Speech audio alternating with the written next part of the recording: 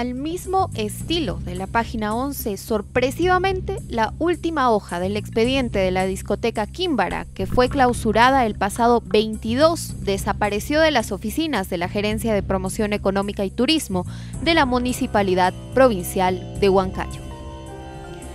Este sorpresivo giro en el caso se dio tras la publicación de audios donde se hace evidente la furia de Dani Luján, gerente de promoción económica de la municipalidad provincial, donde reclama de manera eufórica la devolución del documento y explicaciones del caso, señalando como principales implicados a personal nombrado.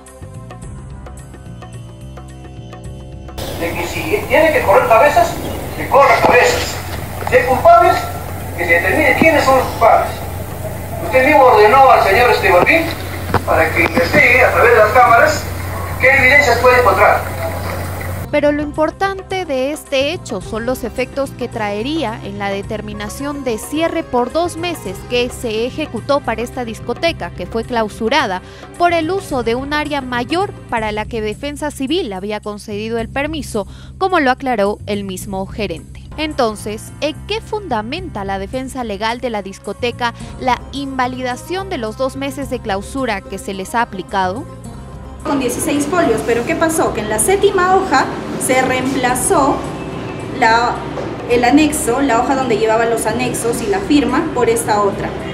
¿Cuál ha sido la intención? Evidentemente pues de perjudicar, ¿no? Porque al perderse esta hoja no había manera de que el administrado pueda defender de que efectivamente se presentó un video, un video grabación en un CD. Pero usted tiene el video, lo puede volver a presentar. Claro, lo podemos volver a presentar, pero ya en la resolución está emitida.